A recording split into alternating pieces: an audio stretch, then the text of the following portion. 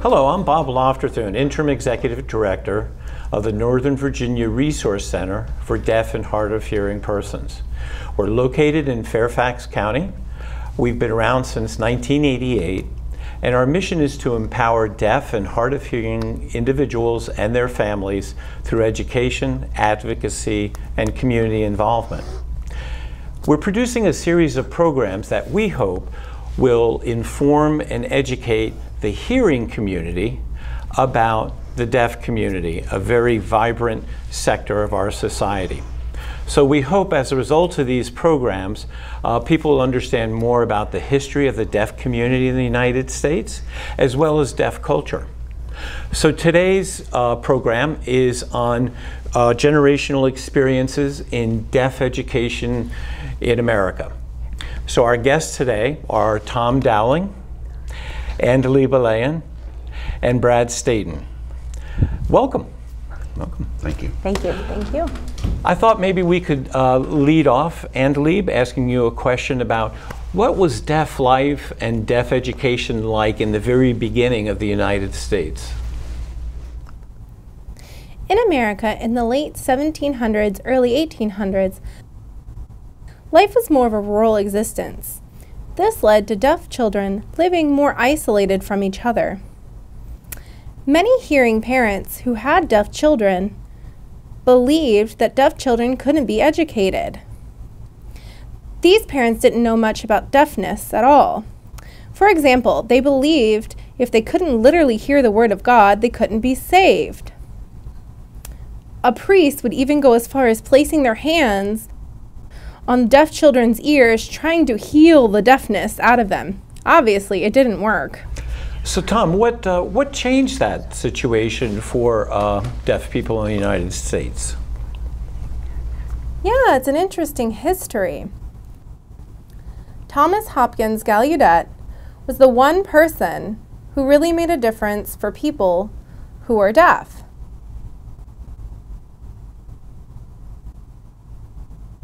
At that time, he had neighbors that were the Cogswell family, and they had a child who was deaf, and her name was Alice.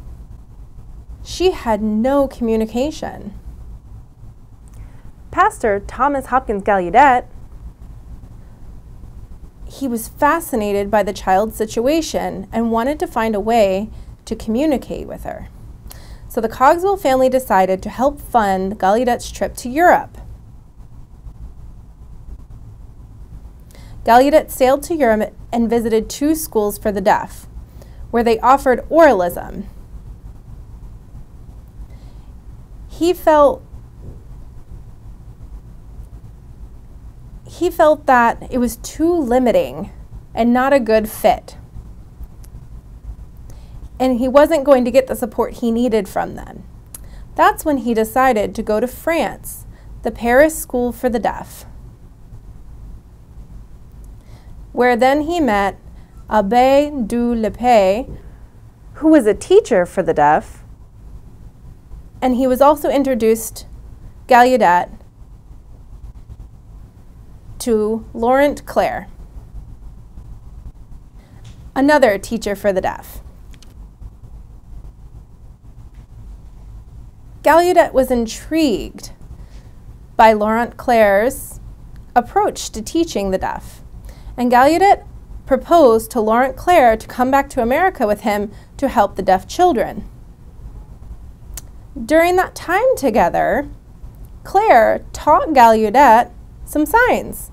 After arriving in America, Clerc met Alice. All of this led to the establishment of the first deaf school, the American School for the Deaf. Deaf children from around of the surrounding areas were brought together to be educated.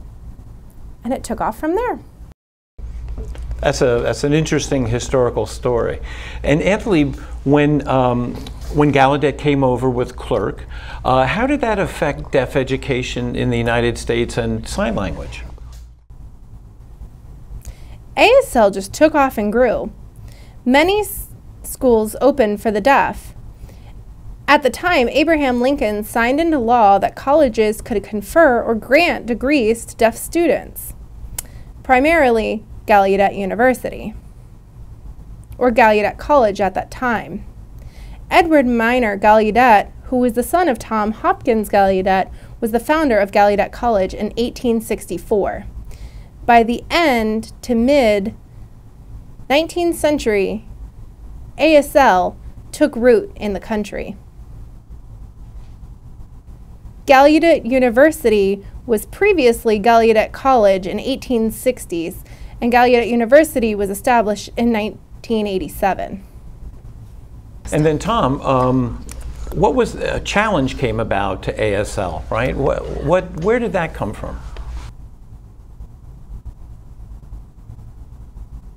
Yeah, at this point in American history, there was a name, a man named Alexander Graham Bell, or AGB.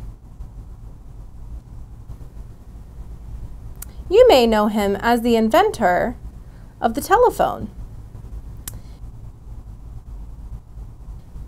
He had it patented in 1876, prior to the invention of the telephone. AGB was married to a deaf woman, and he was his mother was also deaf. After observing his wife and mother's situation, he moved he was moved to believe that being deaf was something to be eradicated. He believed that deaf children could be taught to speak better and proposed oralism to be taught to deaf students in deaf schools. He opened up the first school in Boston in 1871. Over the next five years, he ran his school. This preceded the invention of the telephone in 76 he became very influential and successful. This drew many people to his beliefs and methodologies. And it spread throughout other schools in the area.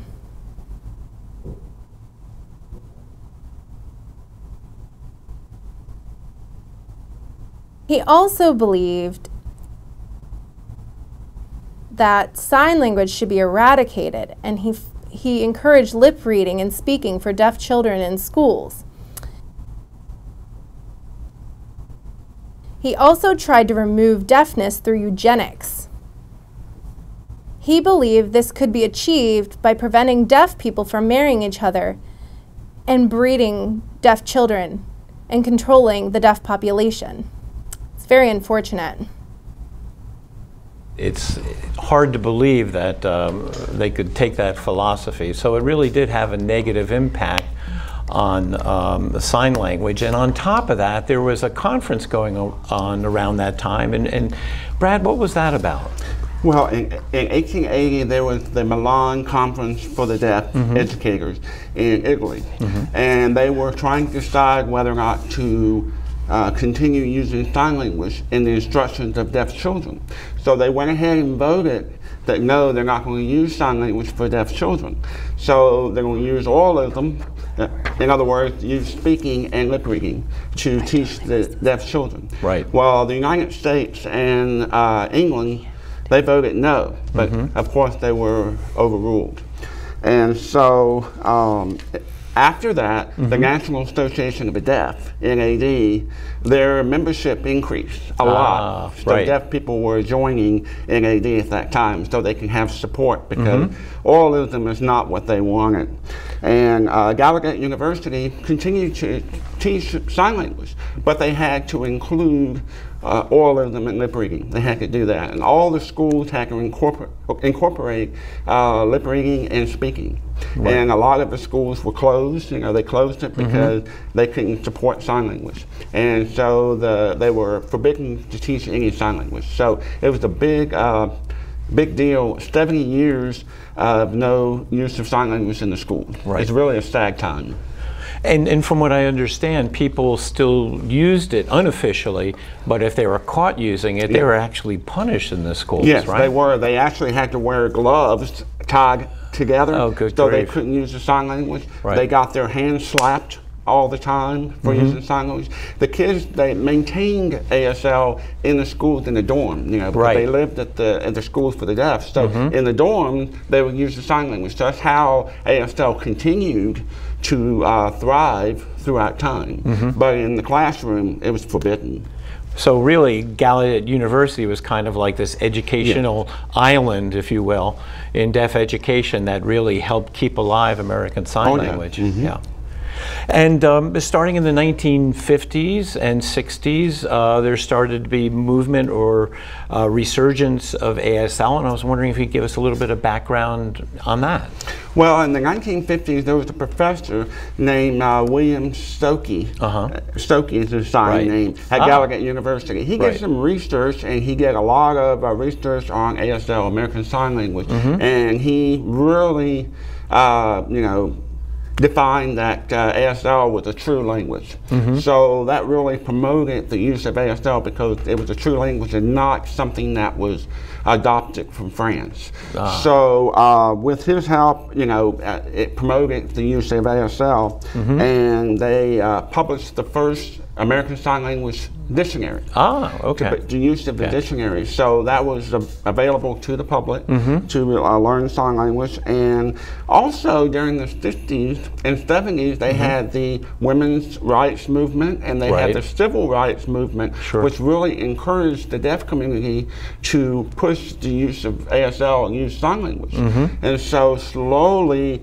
the barriers between not using ASL and the use of sign language became stronger Right. throughout time. Right. And um, so, and then all the way into the 1980s, when um, there was what they call the Deaf President Now um, DPN movement, where they were Mm-hmm. Right. getting ready to hire a hearing president of Gallaudet University.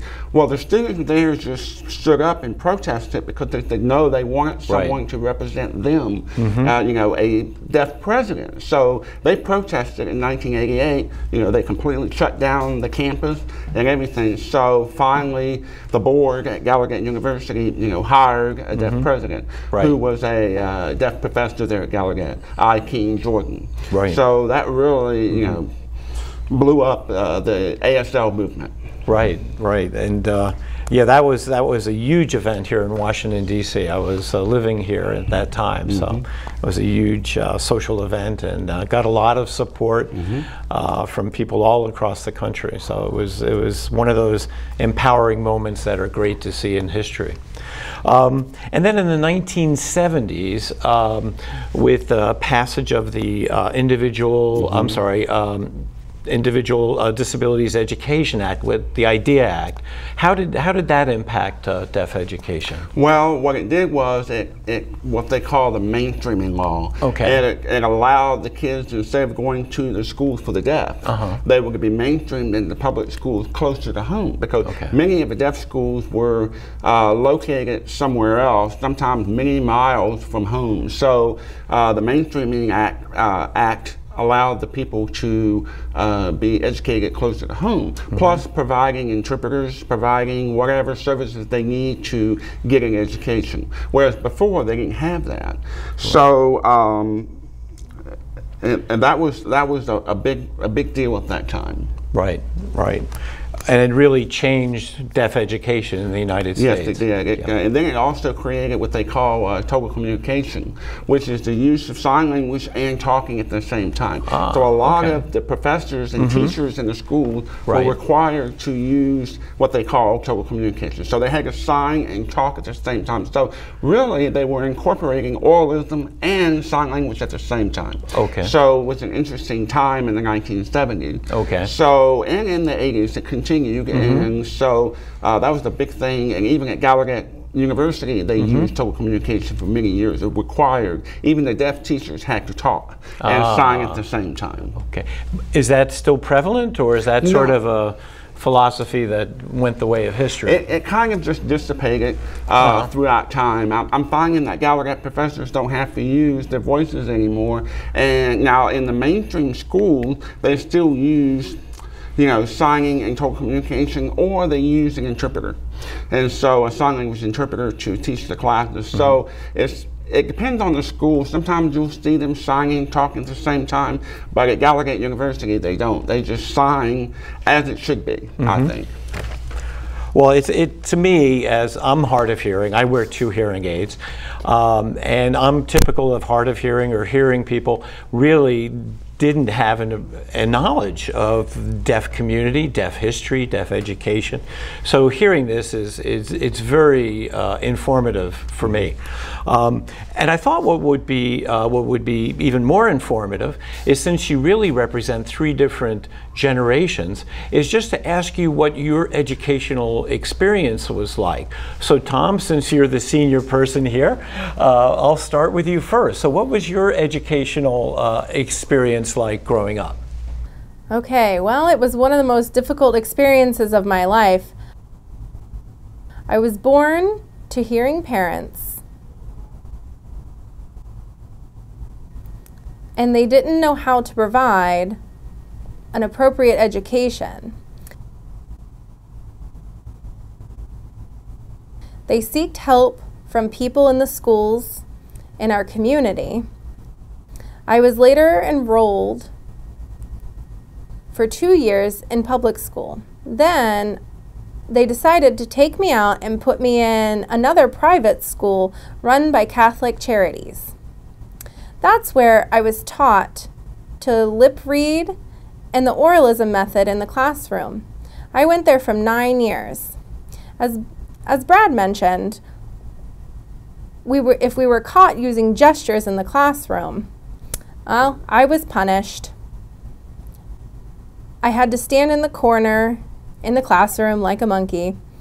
But you know, but at the end, I was sent to a private high school where I met two other deaf boys.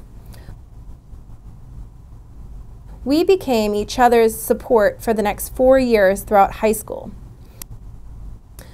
We had no other support system from the school.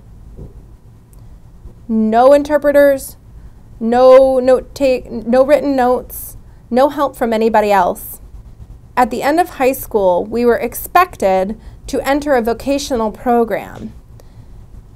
When I took my Gallaudet entrance exam, I didn't think I was going to get in. But to my surprise, I passed. It was amazing. When I got to Gallaudet, it opened a whole new world of communication. We were able to have dialogues in the classroom discussions, no more writing back and forth on slips of paper. It was very different than my old schooling days back in Chicago. Well, that's it's uh, a very interesting and uh, illustrative story about all the challenge that you faced and what uh, what an education at Gallaudet made for you. And and Brad, uh, since you're next, uh, could you describe your educational experience? Sure. I was born hard of hearing or uh, profoundly hard of hearing. I was born, and at that time they didn't have any way of diagnosing my hearing loss. So. Mm. They thought I had a mental impairment, so they sent me to the school uh, for the mental disabled. Wow. And I was there for one year, and uh, fortunately for me, there was a new doctor that came to town, and they tested me and said, no, he has a hearing loss. So uh, my parents decided immediately the only thing they could do was to send me to the Virginia School for the Deaf and the Blind, where I went for one year. And then at that time, the uh, mainstreaming law was passed oh. in 1973. Mm-hmm. So they decided to send me to a program that was established in Roanoke, my hometown, uh, where it was a mainstreaming program for the deaf. And during the day, they had deaf classes, and in the afternoon, that you were sent to hearing classes. And so, and that was a, a good experience for me because I can still be with my peers in the classroom. Right. And then uh, my parents felt like I was more hearing than deaf, so they transferred me to uh, an elementary school in my in my hometown of Salem, Virginia. And so, but I had no interpreter, I had no any kind of note taking or anything. So it was really wow. a frustrating experience for me because being hard of hearing, I still can't hear what's happening in the classroom. Mm-hmm. So, uh, and I went through all through high school, and I mean, I, I managed. I think I was lucky because there were small classes. So, and then I went on to a hearing hearing college, and I struggled in, in college because there was no interpreters, no note, takers, anything. Right. So, I mean, I struggled through two years of college. Well, at that time, the uh, Gallaudet University had the protest, you know, that I mentioned earlier in 1988. Deaf president and now, it just yeah. opened my eyes. So I went up there for a visit, and Mm-hmm. I decided, oh, this is what I need. So I transferred to Gallaudet, and it really opened up, like Tom, it opened up a world to me, and I was Mm-hmm. able to sit in the classroom, get an education, be able to discuss with other students. It was really a good experience for me. That's great. And uh, Andalib, um, you're the youngest here, uh, and if you could describe uh, your your educational experience growing up. I grew up here in Fairfax County, from elementary school through high school. I was in the Fairfax County public school system. I was fortunate enough to have interpreters. I was in a deaf education program, small classes, as well as being mainstreamed classes with interpreters. I had an IEP that was developed by my teachers and parents. It was in those meetings we decided that I would be mainstreamed with interpreters. Then, when I went to Gallaudet University, there were more people just like me than I've experienced ever before. And that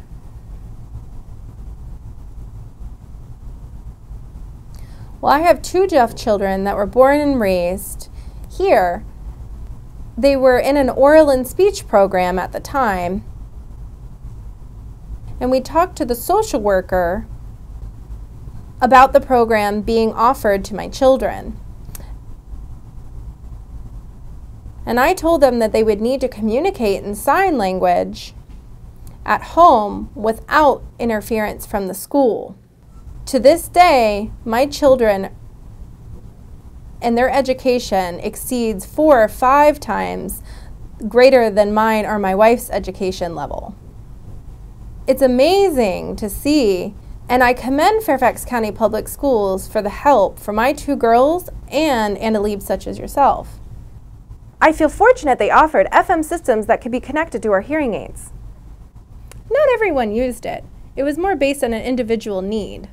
Also, transportation was provided, such as myself. I lived about 25 minutes from school, so all the deaf would be bused to one location where the deaf education program was. So the educational system in the United States has really improved quite a bit over the last 50 years, and that, that's great to see.